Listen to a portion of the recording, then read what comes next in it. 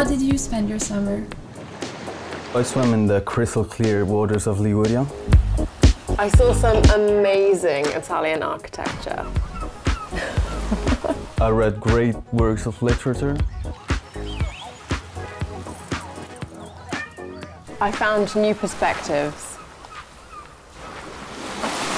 Sono andato all'opera.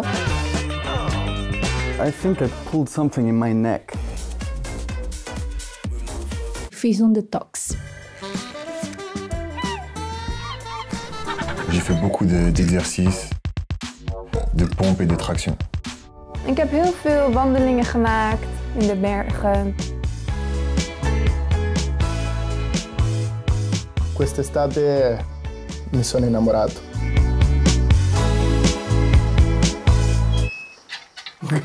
I had a very quiet summer. Lots of meditation.